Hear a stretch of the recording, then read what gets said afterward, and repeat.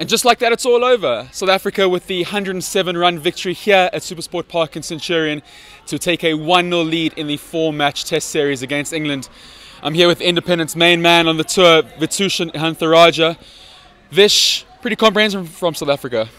Yeah, absolutely. There was a point maybe about lunch today when it looked like England with Joe Root and Ben Stokes, obviously because of what Ben Stokes did at Headingley, that you thought maybe they might be able to pull out of the bag, but. Yeah I think the right, it was the right result, wasn't it? South Africa bossed the game from start to finish.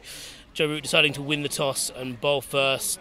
He said it was statistics based, and they certainly did let South Africa get away from them. But yeah, full credit to the Proteas. They absolutely deserve this win. And you know, when you consider um, the troubles that they faced, not just in the last month, but with uh, English cricket thieving. Thieving is probably the right word. Thieving some South African talent. Um, I think it was a good result and perhaps a result that was um, enjoyed by many more beyond South African fans. Yeah. yeah.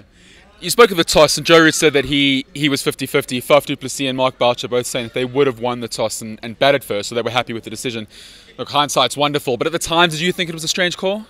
Yeah, it was a strange call, not least because um, England were suffering with illness and, you know, generally, you know, Test match cricket has changed quite a lot, but the fundamentals remain that you win the toss, you bat first, especially yeah. on a, a, ground like this, uh, a Centurion, where it's renowned for falling apart, as it didn't really do yesterday. It, got up and down though, didn't it? Yeah, well, exactly. Yeah, and it, and it did do today. And when you're chasing on a pitch that you can't trust the bounce, and you're always going to struggle regardless of how well England coped with it yesterday. So, yeah, I think Joe Root mentioned in his press conference that the decision to to bowl first was built into ultimately the, the, statistics that they saw of how this pitch was playing recently and ultimately what they had in their attack and how they do enjoy chasing. You know, this is.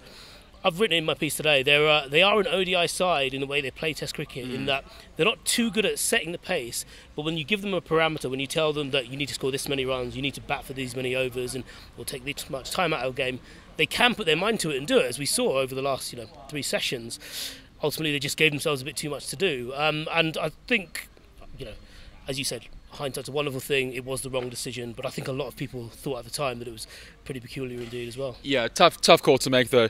Look, these two sides don't need any any more motivation when they play against each other. They really seem to bring out the best in each other and, and seem to win overseas.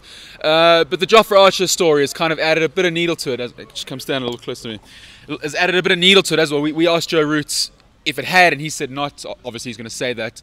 But when he walked out to bat, you kind of sensed a, a real increase in the tension in the ground. Anrich Nortje had a bit of words, eventually got him out, one vicious bouncer. What's your take on it?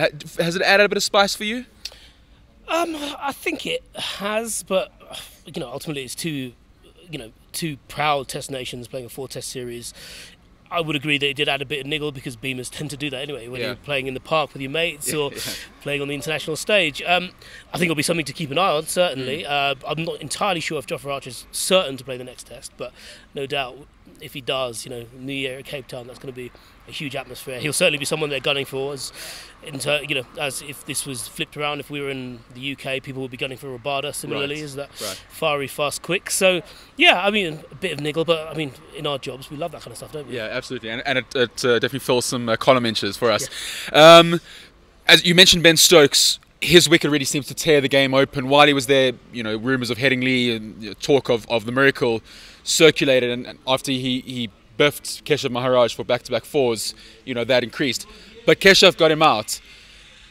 Not only does he add that spin option, but he hastened the arrival of the new ball, which eh, proved decisive, without compromising an attacking threat.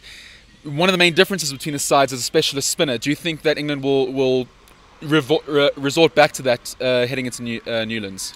Yeah, I, I, think so. The the fit spinner at the moment um, is Dom Bess. He plays for Somerset. He's an off spinner, kind of more of a, a bowling all rounder, as it were. You know, his, his batting is pretty good. He's got a Test half century and doesn't really turn the ball too much. So.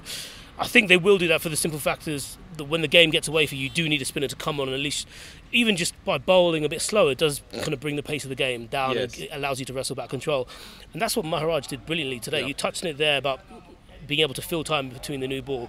That 10 overs when Pretorius and Maharaj were, in, were bowling to get to the new ball, that's the time when England actually could have taken the game away from him. Yes. And that was when Maharaj took Stokes' wicket as you say, having been hit for two fours, and that was vital, and, and that was a game right there. But it was just, it was exactly the kind of moment that England would have been able to pinpoint. And credit to Pretorius as well. I Yes. mean, he was probably the weaker of the the weakest of the seamers on show, but that kind of more because of how well Nortje did. You know, he was outstanding. But Pretorius dug in there, took the wicket of Denley twice.